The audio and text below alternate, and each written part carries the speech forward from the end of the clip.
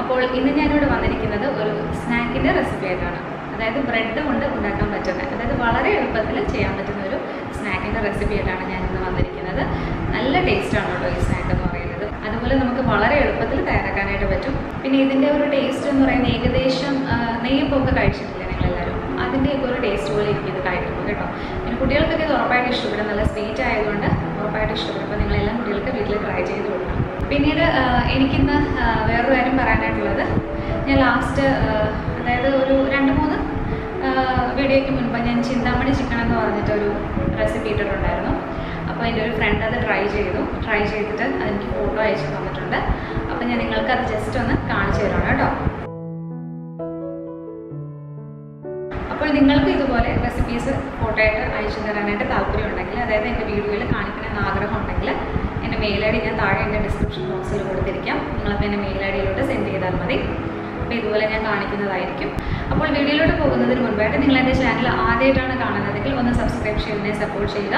അതുപോലെ നിങ്ങളുടെ family friends എല്ലാവർക്കും പറ്റുമെങ്കിൽ ഒന്ന് ഷെയർ ചെയ്യുക കേട്ടോ അപ്പോൾ നമുക്ക് എങ്ങനെയാണ് ഈ ബ്രെഡ് കൊണ്ട് വളരെ എളുപ്പത്തിൽ തയ്യാറാക്കാൻ പറ്റുന്ന ഈ സ്നാക്ക് ഉണ്ടാക്കുന്നത് നോക്കിയിട്ട് വരാം. അപ്പോൾ നമുക്ക് സ്നാക്ക് ചെയ്തു തുടങ്ങാം. അതിന് വേണ്ടിയിട്ട് ഞാനിവിടെ എടുത്തിരിക്കുന്നത് ഇത്ര ഐറ്റങ്ങളാണ് ഈ അഞ്ച് ഐറ്റങ്ങൾ ഉണ്ടെങ്കിൽ നമുക്ക് വളരെ എളുപ്പത്തിൽ ഈ സ്നാക്ക് തയ്യാറാക്കാനായിട്ട് പറ്റും. അപ്പോൾ ആദ്യം ഞാനിവിടെ എടുത്തിരിക്കുന്നത് ബ്രെഡാണ്. ഇത് ഒരു ആറ് ബ്രെഡാണ്. അത് ഞാൻ പൊടിച്ചു വെച്ചിരിക്കുകയാണ് അതായത് നമ്മുടെ മിക്സിയുടെ ചെറിയ ജാറിൽ ഒരു മൂന്ന് ബ്രെഡ് വീതം ഇട്ട് രണ്ട് തവണയായിട്ട് പൊടിച്ചെടുത്തതാണ് ഇത് കേട്ടോ. അതായത് ഇത് ഇത് ചൂടാക്കുകയൊന്നും വേണ്ട. ജസ്റ്റ് എടുത്ത് അങ്ങ് പൊടിച്ചു വെച്ചേക്കുന്നതേ ഉള്ളൂ. പിന്നീട് നമുക്ക് വേണ്ടത് ഇതൊരു രണ്ട് കപ്പ് തേങ്ങയാണ്. പിന്നീട് വേണ്ട നമുക്ക് ഇതൊരു എട്ട് ടേബിൾ സ്പൂൺ പഞ്ചസാര പിന്നീട് വേണ്ടത് ഒരു നാല് ഏലക്കയാണ്. ഇത് ഞാൻ ജസ്റ്റ് ഇങ്ങനെ ഒന്ന് പൊട്ടിച്ചിട്ടേക്കുവാണ്. പിന്നീട് ഇത് ഒരു എഗ്ഗാണ്. ഞാനിപ്പോൾ ഇവിടെ കോഴിമുട്ടയാണ് എടുത്തിരിക്കുന്നത്. നിങ്ങളുടെ വീട്ടിൽ ഏത് മുട്ടയാണോ അത് യൂസ് ചെയ്താൽ മതി. ഇപ്പം ഞാനിപ്പം ഇത്രയും അതായത് ആറ് ബ്രെഡിന് ചെയ്യുന്നത് കൊണ്ടാണ് ഒരു കോഴിമുട്ട മൊത്തത്തിൽ എടുത്തത്. അപ്പം ഇത് പകുതി മൂന്ന് ബ്രെഡിനൊക്കെ ചെയ്യുവാണെങ്കിൽ ഒരു പകുതി മുട്ടയുടെ ആവശ്യമുള്ളൂ. അപ്പം മുട്ട ഞാനിവിടെ നന്നായിട്ട് ബീറ്റ് ചെയ്ത് വെച്ചിരിക്കുകയാണ് കേട്ടോ. അപ്പം നമുക്ക് ഇതെങ്ങനെയാണ് ചെയ്യുന്നതെന്ന് നോക്കാം. അപ്പോൾ ആദ്യം നമുക്ക് ഇതുപോലത്തെ ഒരു വലിയൊരു പാത്രം എടുക്കുക അതായത് ഇതെല്ലാം കൂടിയിട്ട് മിക്സ് ചെയ്യണം. അതിന് വേണ്ടിയിട്ട് അത്യാവശ്യത്തിന് വലിപ്പമുള്ള ഒരു പാത്രം എടുക്കുക എന്നിട്ട് ഇതിലോട്ട് ആദ്യം നമുക്ക് ബ്രെഡ് പൊടിച്ച് വെച്ചേക്കുന്നത് ഇട്ട് കൊടുക്കാം. ഇനി അടുത്തതായിട്ട് ഇതിലോട്ട് നമുക്ക് തേങ്ങ ഇട്ട് കൊടുക്കാം. കറക്റ്റ് രണ്ട് കപ്പ് തേങ്ങയാണ് കേട്ടോ ഞാൻ എടുത്തിരിക്കുന്നത്. ഇനി അടുത്തതായിട്ട് ഇതിലോട്ട് ഏലക്ക ആഡ് ചെയ്തിട്ട് കൊടുക്കാം.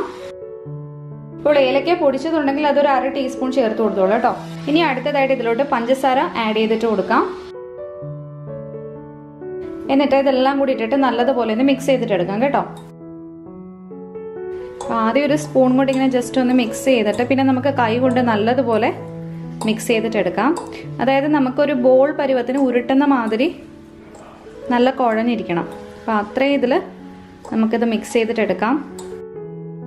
കൈ കൊണ്ട് നല്ലതുപോലെ മിക്സ് ചെയ്ത് കൊടുക്കാം. ഇങ്ങനെ മിക്സ് ചെയ്യുമ്പോൾ തന്നെ നമുക്കത് ഫീൽ ചെയ്യും. നല്ലൊരു കുഴഞ്ഞ പരുവത്തിനാകും.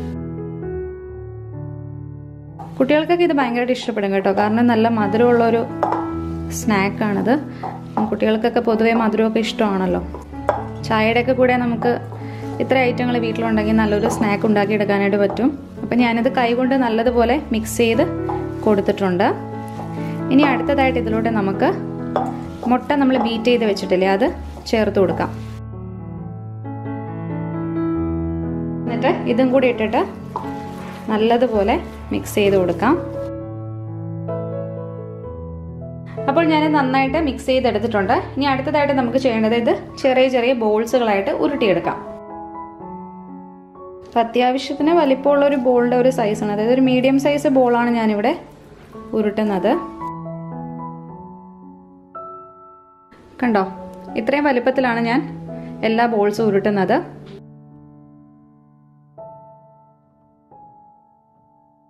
ഇങ്ങനെ നമ്മൾക്ക് ഈ ഇരിക്കുന്ന മിക്സ് മുഴുവൻ ഒരു ബോൾ കണക്ക് നമുക്ക് റെഡിയാക്കി എടുക്കാം. അതിനുശേഷം നമുക്ക് ഫ്രൈ ചെയ്യാം. അപ്പോൾ ഞാനിതിവിടെ എല്ലാം ബോളാക്കി എടുത്തിട്ടുണ്ട്. എനിക്ക് കറക്റ്റ് ഒരു പതിനാല് ബോൾസ് ആണ് കിട്ടിയത്. ഇനി അടുത്തതായിട്ട് നമുക്കിത് ഫ്രൈ ചെയ്തിട്ട് എടുക്കാം. അപ്പോൾ നമുക്ക് ഫ്രൈ ചെയ്യാൻ ആവശ്യമായിട്ടുള്ള ഒരു പാത്രം എടുത്ത് അടുക്കിലോട്ട് വെക്കാം. എന്നിട്ട് ഈ കടായി ചൂടായി കഴിയുമ്പോൾ ഇതിലൂടെ നമുക്ക് വെളിച്ചെണ്ണ ഒഴിച്ചു കൊടുക്കാം. വെളിച്ചെണ്ണയിൽ ഫ്രൈ ചെയ്താൽ മതി. അപ്പോൾ നല്ല ടേസ്റ്റ് ആയിരിക്കും കേട്ടോ. അപ്പോൾ നമ്മുടെ പാൻ ഇവിടെ ചൂടായിട്ട് വന്നിട്ടുണ്ട്. നമുക്ക് ഇതിലോട്ട് ഫ്രൈ ചെയ്യാൻ ആവശ്യമായിട്ടുള്ള ഓയിൽ ഒഴിച്ചു കൊടുക്കാം. എന്നിട്ട് ഈ എണ്ണ ചൂടായി കഴിയുമ്പോൾ ഇതിലൂടെ നമുക്ക് ഓരോരോ ബോളുകളായിട്ട് ഇട്ട് കൊടുക്കാം. അപ്പോൾ നമ്മുടെ എണ്ണ ഇവിടെ നന്നായിട്ട് ചൂടായിട്ട് വന്നിട്ടുണ്ട്. പിന്നെ ഇതിലോട്ട് നമ്മുടെ ബോളുകൾ ഇട്ട് കൊടുക്കാം.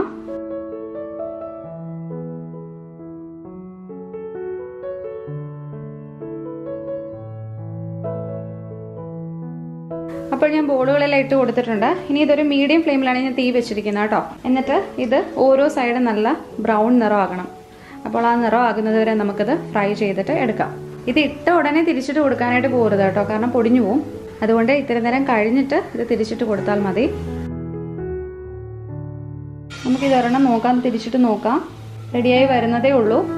ഇച്ചിരി നേരം കൂടെ കഴിഞ്ഞിട്ട് നമുക്ക് ഇത് തിരിച്ചിട്ട് കൊടുക്കാം. അപ്പോൾ നമുക്ക് തിരിച്ചിട്ട് കൊടുക്കാം.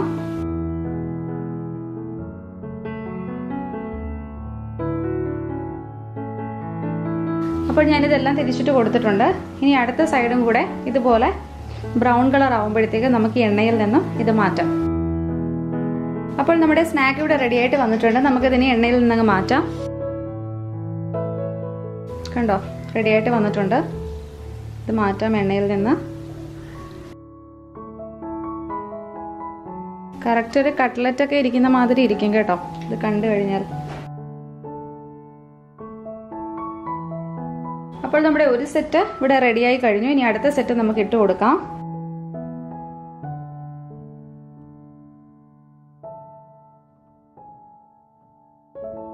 അപ്പോൾ ഞാൻ ബോളുകളെല്ലാം ഇട്ട് കൊടുത്തിട്ടുണ്ട്.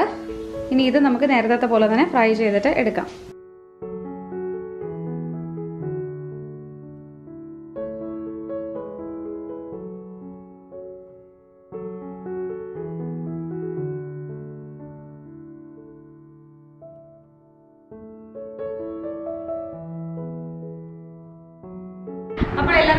മനസ്സിലായിട്ടുണ്ടല്ലോ ഇത് എങ്ങനെയാണ് തയ്യാറാക്കുന്നത് നിങ്ങൾ ഉറപ്പായിട്ടും വീട്ടിൽ ഇത് ട്രൈ ചെയ്ത് നോക്കണം. എന്നിട്ട് അതിന്റെ അഭിപ്രായങ്ങൾ നിർദ്ദേശങ്ങൾ കമന്റായിട്ട് പോസ്റ്റ് ചെയ്യണം കേട്ടോ. അപ്പോൾ ഞാൻ ആദ്യം വീഡിയോയിൽ പറഞ്ഞതുപോലെ നിങ്ങൾക്ക് നിങ്ങൾ ചെയ്യുന്ന റെസിപ്പിയുടെ ഫോട്ടോ എന്റെ വീഡിയോയിൽ കാണിക്കണമെന്ന് ആഗ്രഹമുണ്ടെങ്കിൽ എന്റെ മെയിൽ ഐ ഡിയിലോട്ട് ഞാൻ ഡിസ്ക്രിപ്ഷൻ ബോക്സിൽ കൊടുക്കുന്നുണ്ട്. അപ്പോൾ അതിലോട്ട് നിങ്ങൾ മെയിൽ ചെയ്താൽ മതി. ഉറപ്പായിട്ടും ഞാൻ കാണിക്കാം.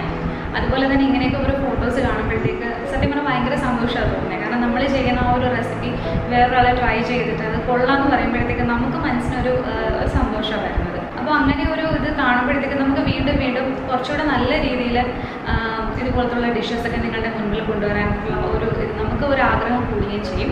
അപ്പോൾ നമുക്കിനി വേറൊരു റെസിപ്പിയുമായിട്ട് കാണുന്നത് വരെ signing off Jincy thank you